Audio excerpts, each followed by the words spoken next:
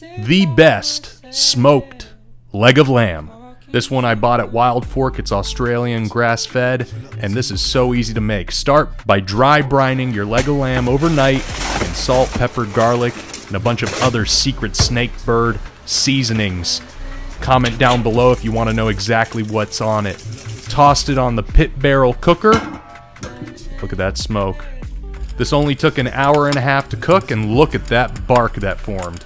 Oh my goodness, was this good. So tender, so juicy. Pulled it at 130, rested it for 20 minutes. And that's how you make